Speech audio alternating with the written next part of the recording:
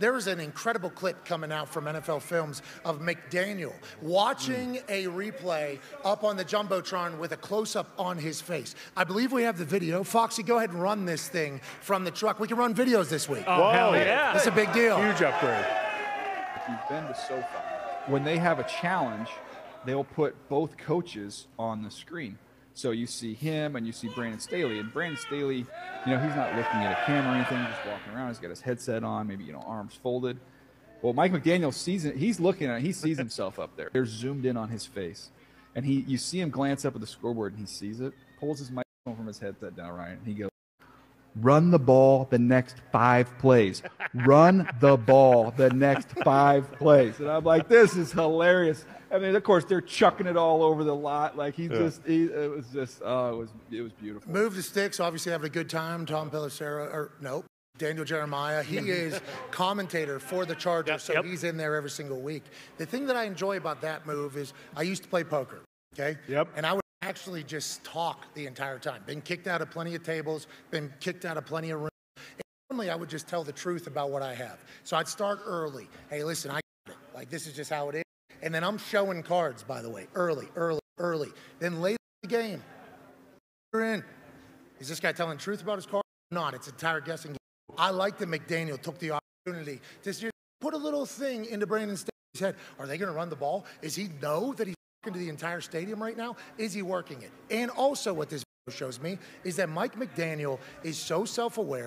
Understands everything going on, and from a guy that was on our show talking as if he had just taken ayahuasca, seems to be the perfect man to be a head coach in the NFL. He does. And I wonder if something that ever came into his mind earlier in his coaching career. Like, say he was an assistant and he saw them showing the coach face on the jumbotron. He's like, man, when I'm a head coach, I'm going to mess with these guys. I'm going to I'm going to throw some stuff and see if they uh, if they actually buy it. So I, it's weird how he is kind of like he's everywhere. He's in the moment. He has awareness and coach dialed in. Hey, I'm football all the time. What's on the field is what's happening. He noticed himself on the jumbotron. I'm sure he's probably taken part. You know when they have like three shells that race on the jumbotron. Yeah, and, and the whole crowd, all the players in the sideline, we would always be in timeout and wonder, oh, now two's got this one. I bet McDaniel's jumping in those too. So there's something at uh, Indianapolis Colts game. It's brought to you by Waste Management. Nice. And normally they find somebody who has never thrown a football before. Yep, And they ask them to throw three footballs into a square that's like this big. The entire stadium's watching, Mm-hmm. and every coach and coaching staff.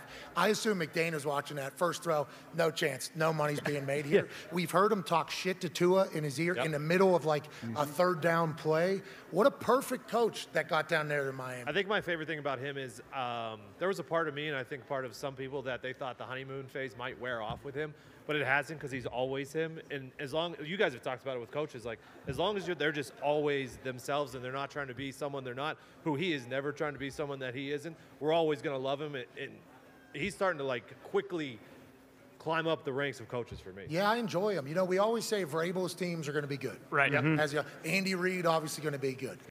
Patriots always going to be in game. Amen. Shane Steichen's always going to have the boys ready. Sure. You know, that's what everybody says Everybody says about NFL It's a teams. cliche. It's getting to the point where we need to just automatically put McDaniel's name in there. And it's interesting because you got Dan Campbell in there as well now. Yeah. And he's vastly different than McDaniel. Yeah. Both of them unicorns and anomalies in the head coaching world, but I appreciate it. I like what this coaching ranks are becoming, especially if you think about what Deion's doing here, the way it's happening, mm-hmm. McDaniel, what he's doing, MCDC, what he's doing. Football's evolving right in front of our eyes right now. Well, and you hit the nail on the head. I think the self awareness is key because there was that point in time where everyone's like, "Oh, this guy's so zany. He's so wacky. He's funny. He's Is he different." high? Exactly. Is he high? Oh, he's, hit, he's hitting a vape on the sideline, right? And like you could lean into that big time and, and kind of change your personality and kind of be who you want the media, you know, is is claiming you are. And he has just stayed the same person. And then even last year, they go through all that shit with Tua and all that stuff that could have just kind of crumbled and it could have been a, a really bad situation where it's like, hey, this guy's not cut out to do this. And to his credit, he's kind of just stayed in the pocket and remained true to who he is. And and we'll see. The, the Dolphins could be a, a real force to be reckoned with. this In the year. AFC East, Yeah. Yeah, yeah, it's not great, especially when you think about what you and AJ always talk about. You know, are you winning because you're happy, or are you happy because you're winning? It feels like they are just enjoying themselves. Like they have a good time. Obviously, when you're putting up 450 in the air and scoring 37 points, 36 points, it's going to be a good time. But it feels like that chemistry inside the locker room, and you know, the Wilkins hold-in kind of reflects that. Like he wants to play with his guys, even though he didn't get paid. yeah, he didn't get paid. Says, all right, I gave it a shot. try to get paid. Here, I'll go suit up for the boys.